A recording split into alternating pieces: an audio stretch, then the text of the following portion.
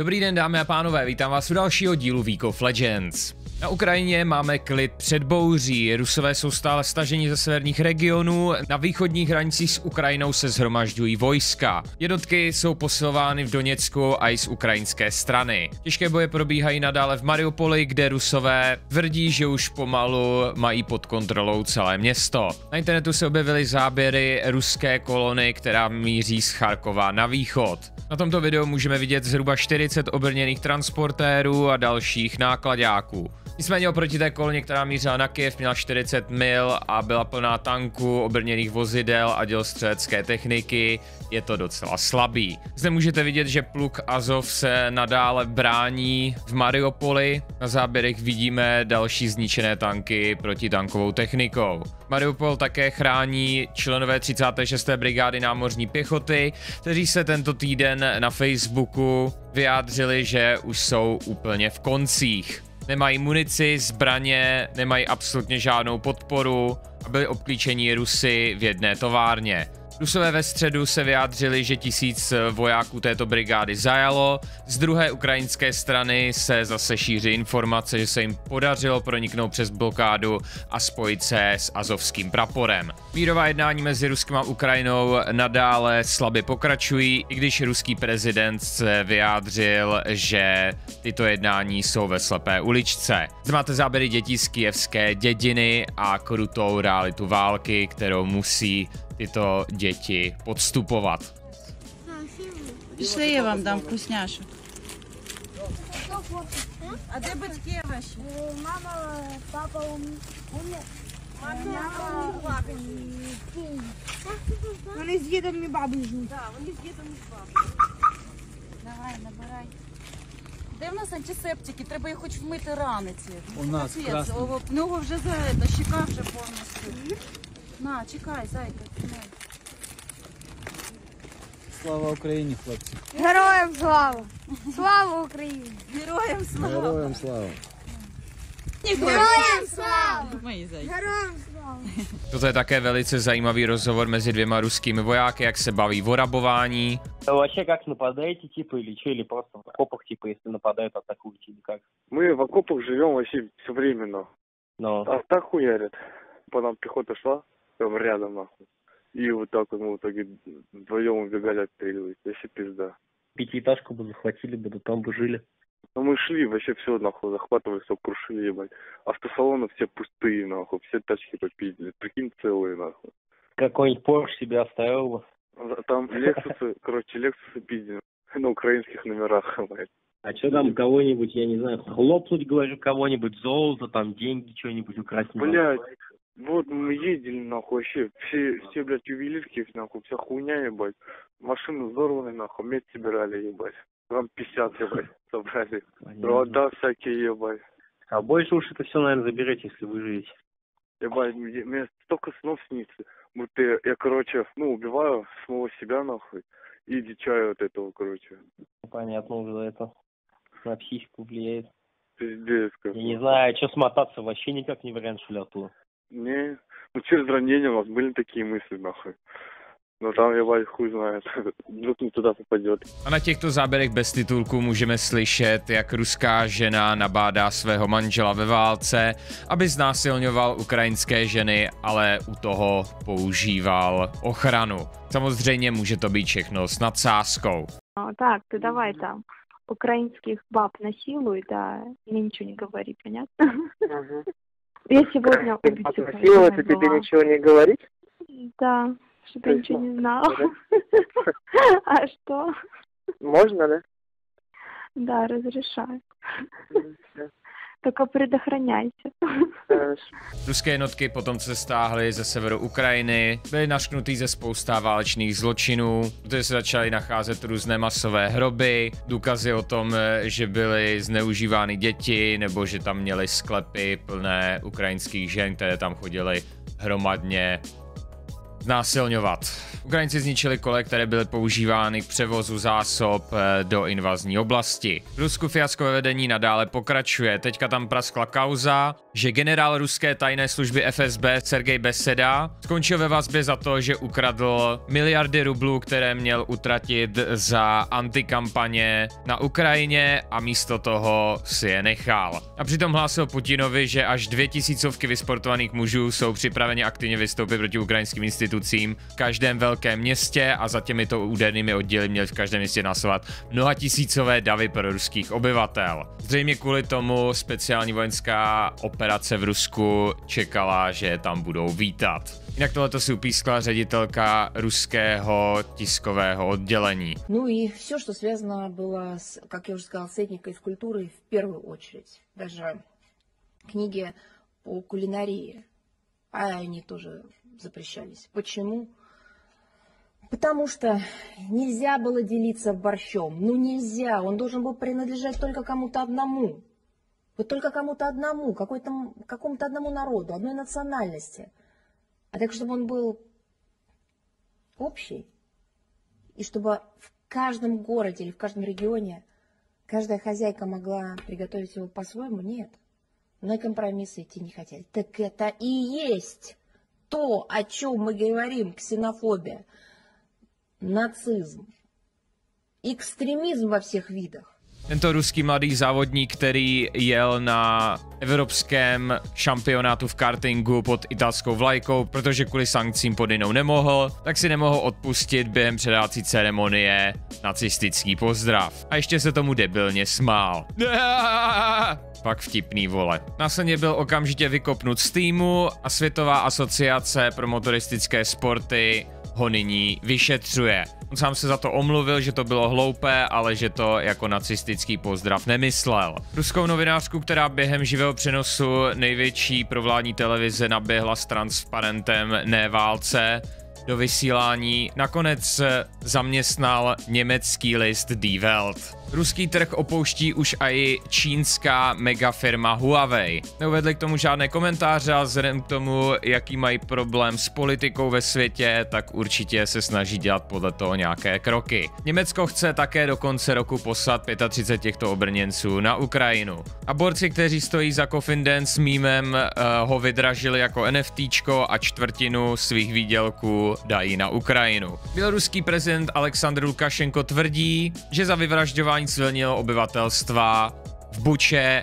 může Velká Británie. Ano, prý v oblasti realizovali spravodajskou operaci. Všechno to jsou herci. Podobně něco prohlásil i náš český europoslanec ze strany SPD, který na svůj Facebook napsal, že raketový útok v Kramatorsku vlastně nebyl vůbec od Rusáků, ale střelili si to tam Ukrajinci sami. V tomto útoku zemřelo minimálně 50 lidí a dalších minimálně 100 bylo vážně zraněno. Europoslanec se později odvolal, že to nepsal on. Další straník SPD, tentokrát Jelemnický zastupitel a místo předseda SPD Libereckého kraje, si vyfotil na svoji sociální síť chlebíčky se znakem Z. A k tomu chlastal Boškov. Kejkounavé. Skupina ČES v úterý v tiskovém prohlášení uvedla, že ruské jaderné palivo se od roku 2024 už používat nebude. Bude to nově dodávat americký Westinghouse a francouzská Framatom. V Brně u Aqualandu jezdil do kolečka opilý řidič. Prý vypil flašku tekily, po příjezdu policistů se s nimi aj mlátil. Čtvrtka končí povinné respirátory ve veřejné dopravě. Koronavirus v Česku statisticky nadále klesá, vláda ale doporučuje v některých oblastech s velkou hustotou lidí ochranu nadále nosit. V Šangaj, hlavním městě Číny, už týden je totální lockdown. Lidé nesmí vycházet ze svých domovů. V noci mezi paneláky jsou slyšet jejich frustrované výkřiky.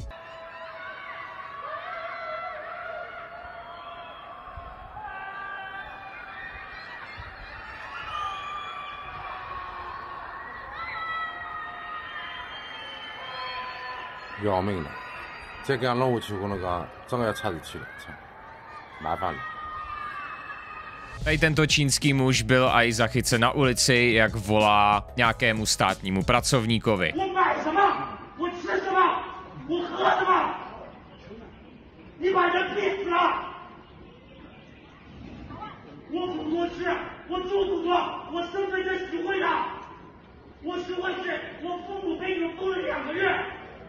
这两个月他们怎么过的？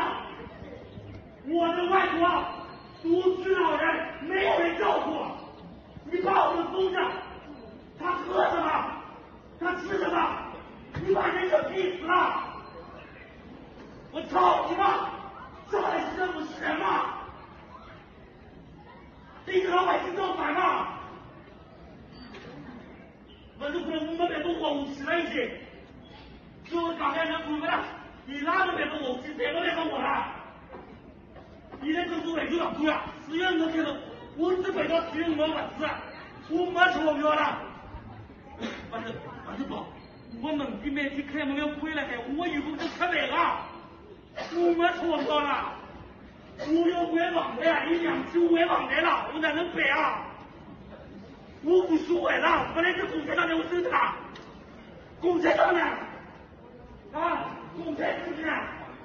Česku v Praze na muže nereagovala dotyková obrazovka, taky prostě rozbil. Policie po muži pátrá. Ve Francii skončilo první kolo prezidentských voleb. Ve druhém kole se proti sobě utkají levicově centristický prezident Emmanuel Macron a pravicová nacionalistka Marine Le Penová, která třeba chce vystoupit z Evropské unie. Vzhledem k tomu, že třetí velice oblíbený kandidát byl velký levičák, tak jeho voliči spíše přejdou k Macronovi, než k pravicové zastánkyni. U nás v Česku také proběhl průzkum volby prezidenta a největší podporu má zatím Andrej Babiš. Hnedka za ním je generál Petr Pavel. V americkém státě Alabama prošel zákon, který kriminalizuje zněný pohlaví u dospívajících. Jakýkoliv lékař, který u mladistvých do 19 let provede zákrok nebo předepíše hormony, tak mu hrozí až 10 let vězení.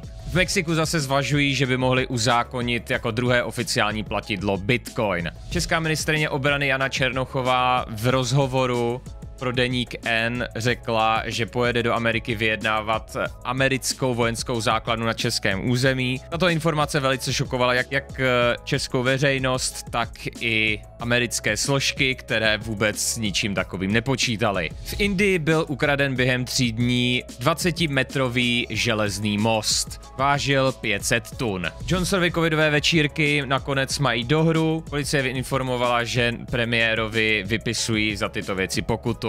Šéf opozice premiéra okamžitě vyzval k rezignaci. Jennifer Lopez a Ben Affleck po tom, co rozvázali své zasnoubení v roce 2004, po 18 letech se zasnoubili znovu. Tak budeme doufat, že Bennifer 2.0 vyjde lépe. A Cristiano Ronaldo po prohraném zápase údajně rozbil malému fanouškovi telefon. Nemohu uvěřit, že to říkám, ale Ronaldo rozbil Jakeovi telefon během toho, co si otočil při odcházení ze hřiště. Jsem v šoku, že profesionální fotbalista může takhle napadnout dítě. Sám je otcem, jak by se cítil, kdyby se to stalo jeho dítěti, ptá se matka. Ronaldo se později omluvil na svém Instagramu a pozval fanouška s rozbitým telefonem, aby se podíval na zápas na Old Trafford ve znamení fair play a sportovního ducha. Sony Allego zainvestovalo 2 miliardy dolarů do Epic Games, aby nadále rozšiřovali jeho metaverse. Tým Sweeney je asi se svým metaversem co nejvíc napřed. Tak a nyní to nejlepší z československého Twitche. Week of the week. Tady nikde nemá smrt?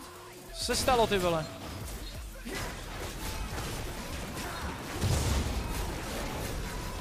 Fuck this shit, I'm out.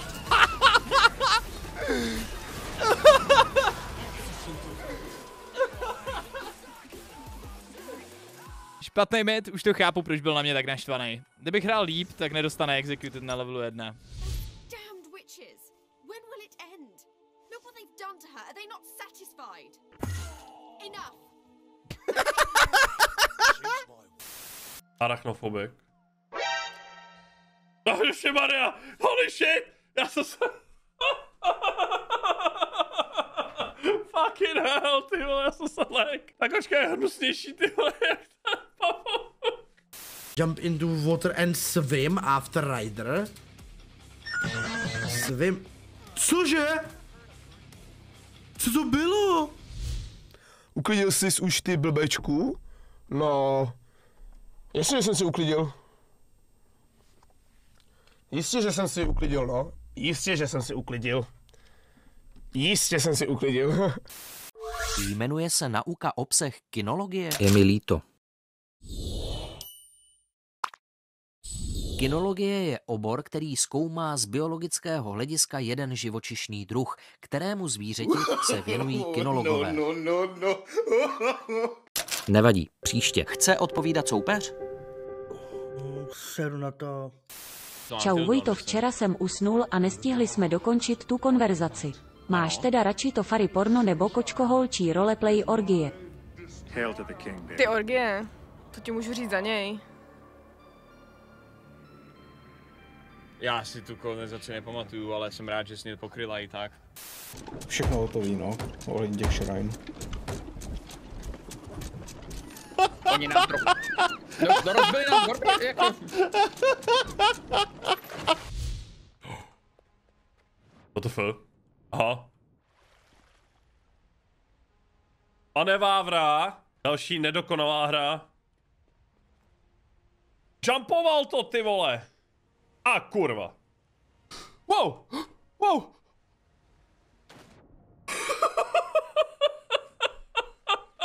ty kráso. Pamatuju si, že tady ta pasáž je dost těžká. Když nemáš útočný pušky a skill jako já, tak je to dost možný.